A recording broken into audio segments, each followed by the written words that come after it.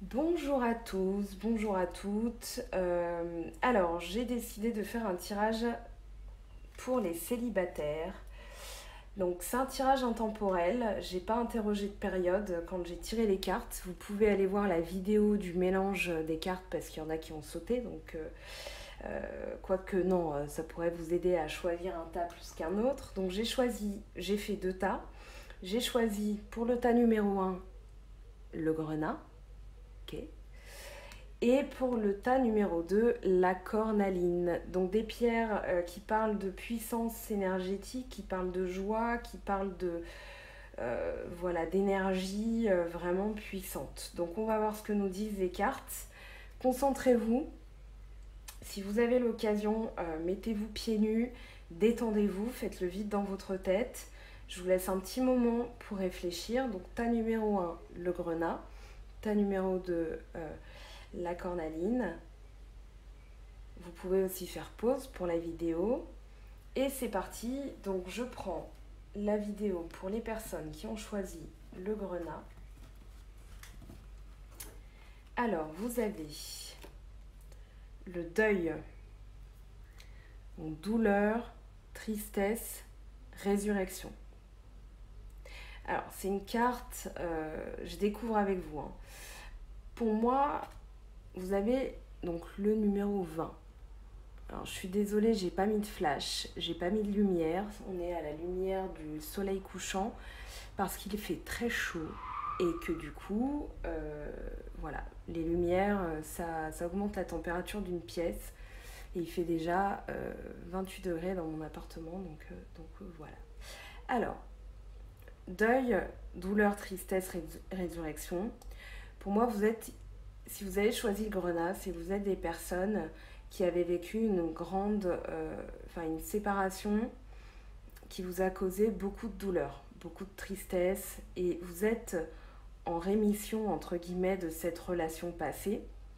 Vous faites le deuil du passé pour moi.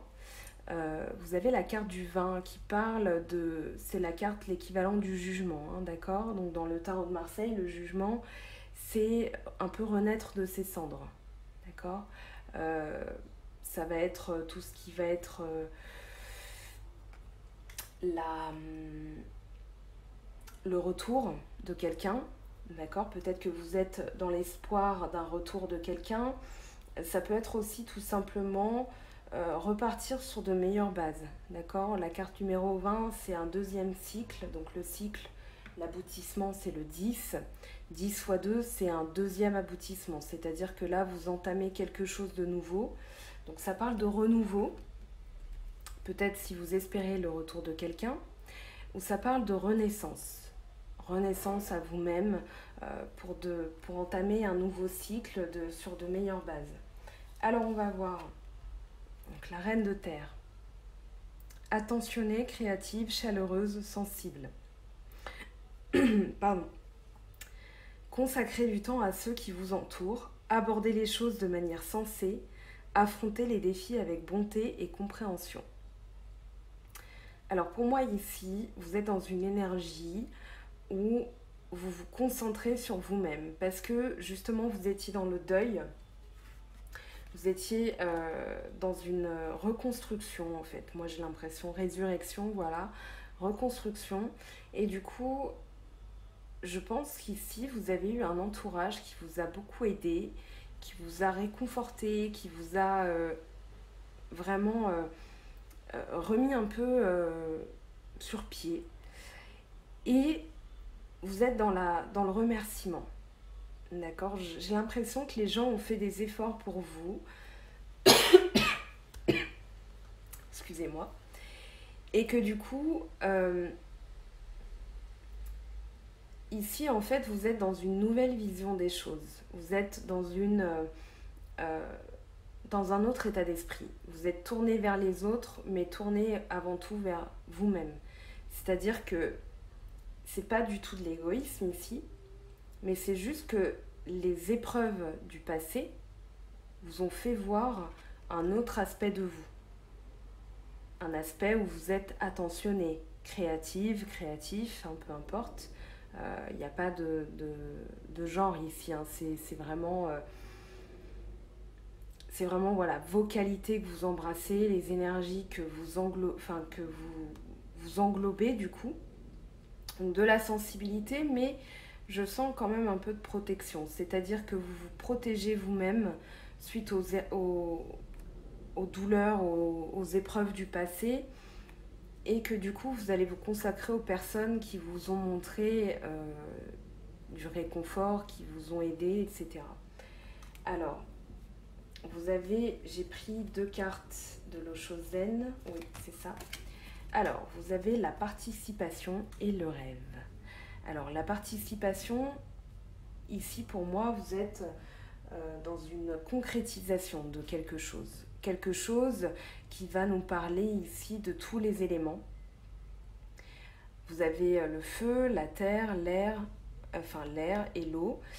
Et je pense ici vous avez envie de découvrir des nouvelles choses, peut-être de faire de nouvelles rencontres. Vous avez le rêve juste après.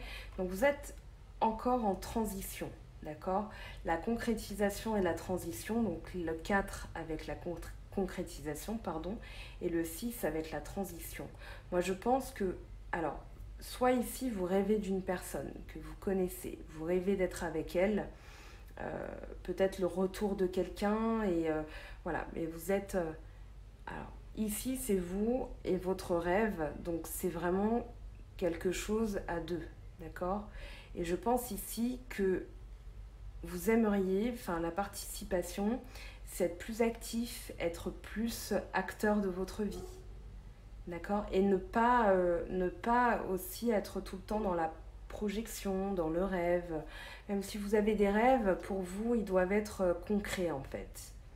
Ok, j'ai vraiment ce sentiment que vous vous placez dans une énergie où vous allez concrétiser des choses. Donc pour vous les célibataires, euh, vous rêvez peut-être du retour de quelqu'un ou vous rêvez de rencontrer quelqu'un. Pour moi ici, euh, c'est avant tout moi, j'ai cette sensation que vous avez envie de construire quelque chose de concret. D'accord? Qu'il n'y a pas. Euh, moi, je vois pas de carte où ça va être la fête, la frivolité. Voilà, ces choses-là, c'est plutôt dans la construction, être acteur, être, enfin, participer vraiment à votre vie et ne pas la subir, ne pas la regarder. Allez, on passe à la suite. Donc, vous avez voilà, l'évolution avec la route fortune, qui nous parle de déblocage aussi d'une situation. Peut-être que vous êtes dans l'attente de quelque chose et que ça va se débloquer.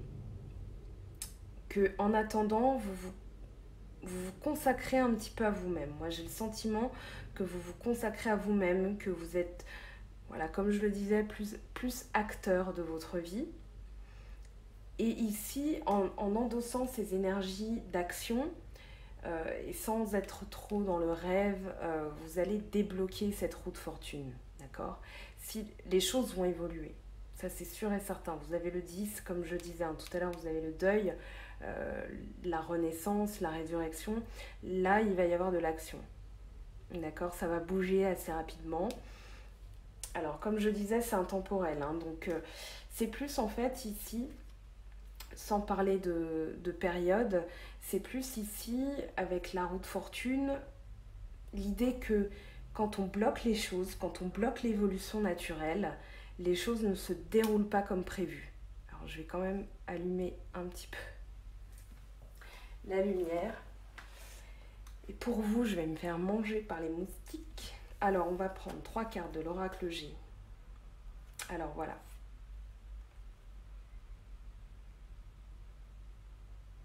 Alors ici, vous avez l'entraide, l'union, le partenaire euh, qui est là pour vous.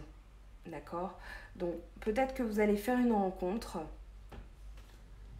et que cette personne va se montrer vraiment d'une aide précieuse. Peut-être que vous allez la rencontrer lors d'un voyage.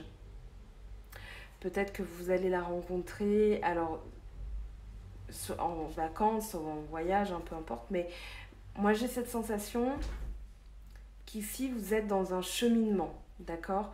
Que vous êtes euh, dans un cheminement parce que vous avez quand même la santé. Donc, pour moi, c'est un voyage intérieur que vous avez effectué. Donc, vous revenez, vous avez effectué un bilan. Moi, j'ai cette sensation avec l'énergie de la reine de terre que vous avez fait un bilan lors de cette résurrection. Donc, je récapitule, vous avez eu euh, une douleur, vous avez eu euh, une rupture, je pense, qui a été assez douloureuse. Peut-être que vous repensez à votre ex, mais pour moi, vous êtes dans la guérison. Ok, vous êtes vraiment... En fait, j'ai l'impression que vous avez réfléchi à votre situation, réfléchi aux choses que vous deviez changer, peut-être plus participer, peut-être moins rêver, d'accord Et être vraiment dans l'action, ok? Ça ne nous parle pas de contrat ici. Pour moi, ça parle euh, de personnes qui vont vous aider d'entraide, peut-être un partenaire que vous allez rencontrer, qui va vraiment être dans le main dans la main avec vous en fait. Et vous avez fait un, voyage intérieur, ou alors ça va être une rencontre lors euh, de vacances. Euh, mais pour moi, il y a un bilan qui a été effectué. C'est clair, net et précis. Pour moi, vous avez fait un bilan vous avez fait un peu le deuil de cette relation et vous vous dites ok j'avance mais pour avancer il va falloir que je participe un peu plus à ma vie là on a une idée aussi de mouvement on a une idée de, voyage on a une idée de, de, déplacement. Donc ça peut être lors de déplacement mais moi j'ai plus la sensation que c'est intérieur tout ça. Ok? Alors on regarde. Alors la naissance et la clairvoyance. Alors la naissance ça nous parle de nouveaux projets. Elle nous parle de renaissance aussi. Peut-être que là, vous vous sentez, alors, je dirais, dans une nouvelle énergie, comme si vous étiez un nouveau vous. Mais moi, j'ai plus la sensation qu'en fait, vous êtes redevenu vous.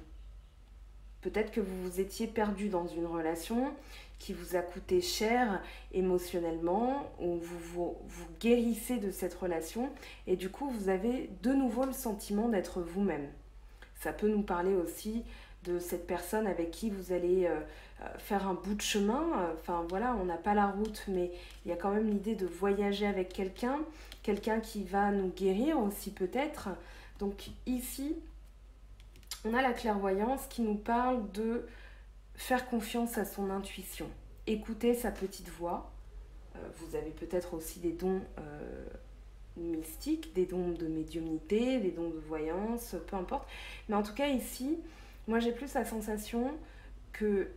Alors la clairvoyance, c'est un peu comme la carte de la lune, c'est l'intuition, l'imagination, il y a aussi le rêve. Mais là, moi j'ai plus la sensation que vous savez vers quoi vous allez. Que ici, en fait, cette expérience qui a été douloureuse va vous permettre d'avoir une, une vision des choses beaucoup plus accrue, même les choses qui ne sont pas visibles, d'accord? Même les choses qui ne sont pas tangibles, vous avez guéri d'une situation et ça vous donne un, on va dire, un, un sixième sens. Voilà, c'est le sentiment que j'ai. Alors, n'hésitez pas à me laisser en commentaire ce que vous en avez pensé, si ça vous parle. En tout cas, j'espère euh, que les les vidéos vont vous aider à traverser cette situation. En tout cas, il y a quand même une belle énergie d'évolution, il y a de la guérison, il y a de nouveaux projets, il y a un peu plus d'action. Donc ne vous inquiétez pas. N'hésitez pas à aller voir d'autres vidéos d'autres personnes. Si vous avez envie d'une guidance personnalisée avec moi, vous avez mon adresse mail, donc euh, mango-fait-du-tarot-gmail.com. Vous pouvez aller voir aussi, comme je vous le disais, la vidéo du petit mélange en accéléré sur mon Instagram. Je poste des photos et des vidéos assez régulièrement. Et n'hésitez pas aussi à coupler avec votre signe astrologique pour avoir plus de compléments. Et d'ici là, je vous fais de gros bisous. Portez-vous bien.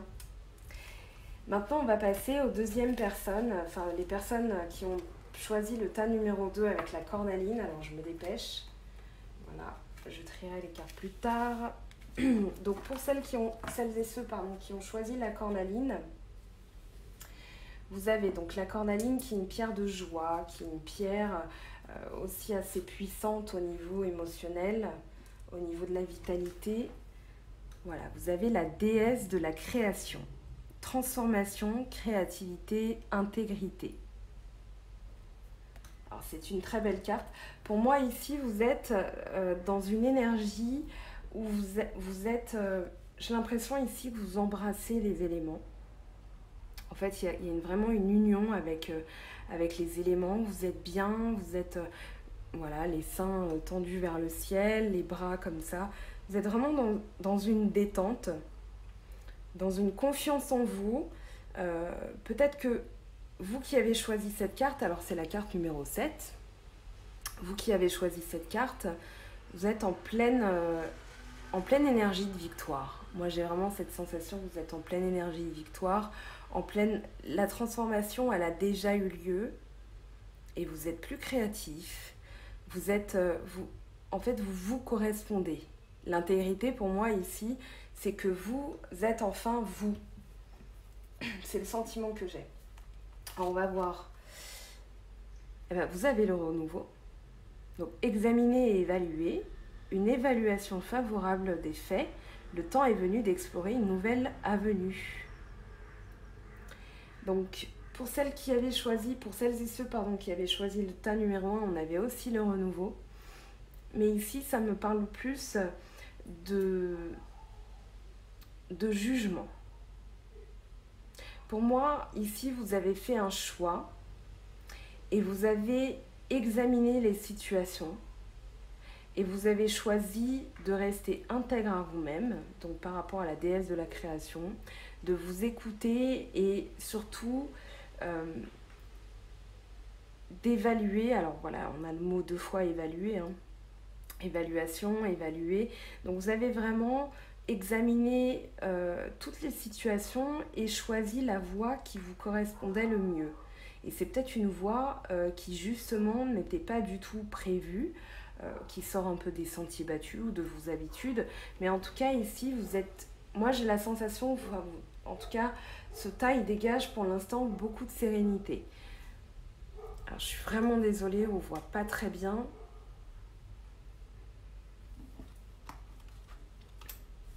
Alors, il y a trois cartes du Oshozen qui sont sorties. L'espièglerie, la maturité, la lutte.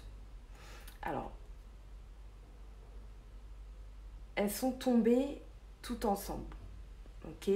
Donc je les prends, il n'y a pas d'ordre, hein, je les prends comme ça.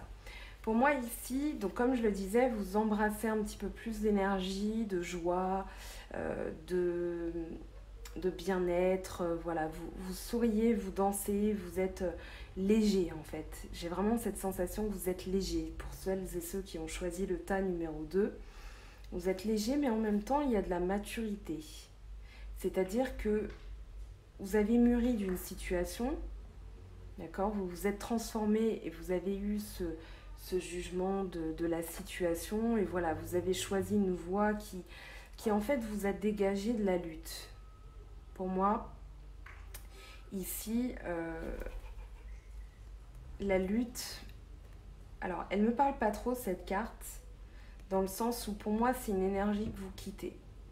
Je, vois que ça. Vous ne pouvez pas retourner dans la lutte.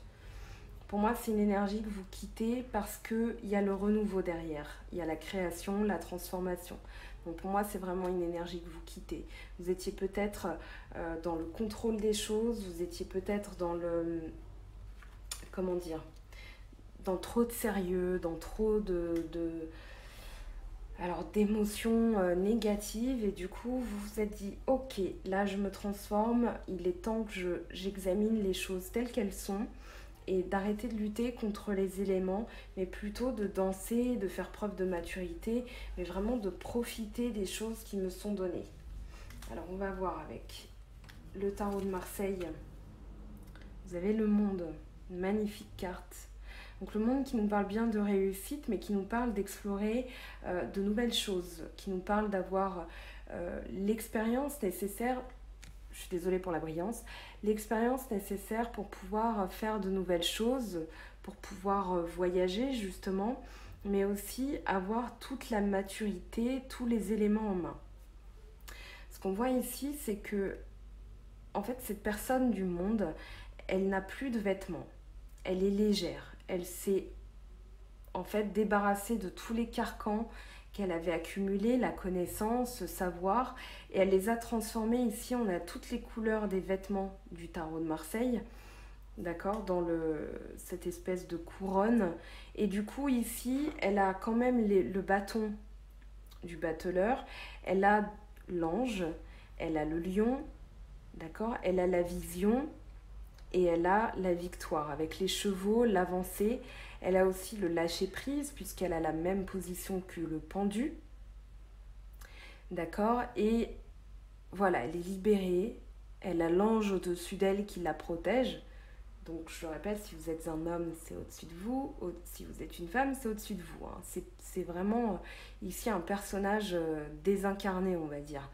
Donc voilà, elle a maîtrisé le lion, elle a maîtrisé euh, les épreuves de la vie, elle a un œil acéré sur les choses, elle a aussi la victoire, enfin les, les, chevaux ici représentent l'avancée, la victoire, l'ange qui la protège, donc vraiment elle est bien, elle a tous les éléments en main.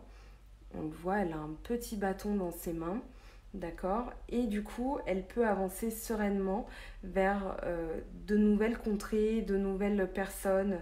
Voilà, c'est quelqu'un qui est dans la réussite et qui est dans l'avancée. Elle entame aussi un nouveau cycle, puisqu'on a le 21, donc après le 20, il y a le 21, logique, mais c'est surtout ici un nouveau cycle, mais un cycle où tout est englobé.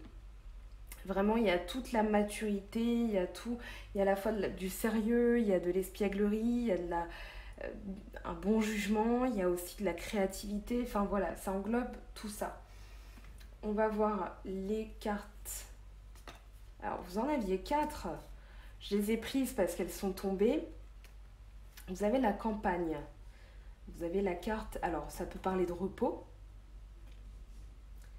Ici, alors, par rapport... Alors, je prends ces trois cartes. Ici, on vous parle de, campagne, on vous parle de repos, on vous parle de vacances.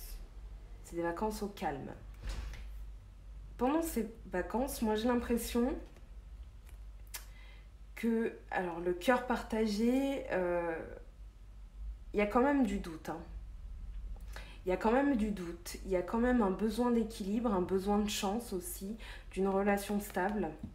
Ok Ça peut parler de, voilà, si vous vous posez la question,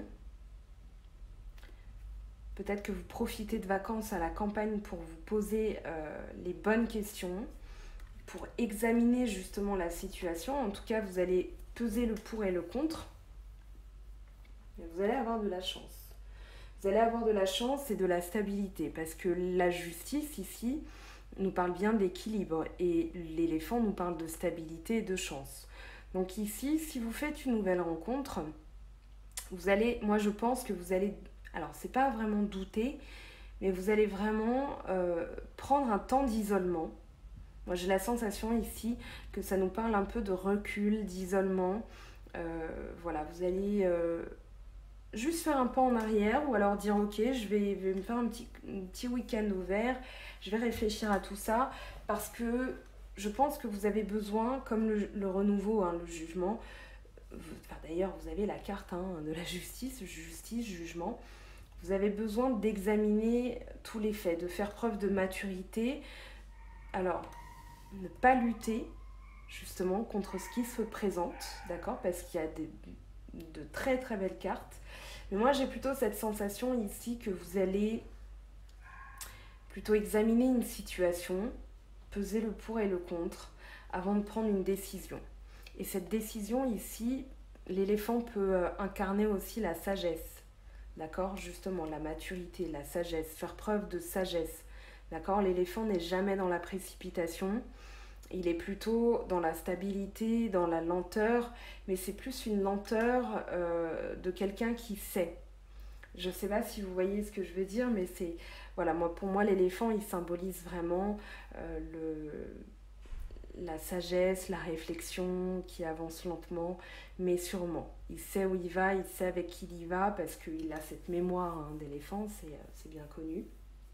Mais voilà, en tout cas, vous, avez, euh, vous allez examiner la situation. Pour moi, vous n'êtes peut-être pas encore prêt, ok, mais vous avez, en fait, pour moi, il n'y a même pas limite, euh, vous n'êtes pas encore dans la rencontre. Vous êtes plus dans, euh, je me suffis à moi-même, j'examine la situation parce que de toute façon, j'ai la réussite, je sais où je veux aller, mais je ne veux pas y aller avec n'importe qui.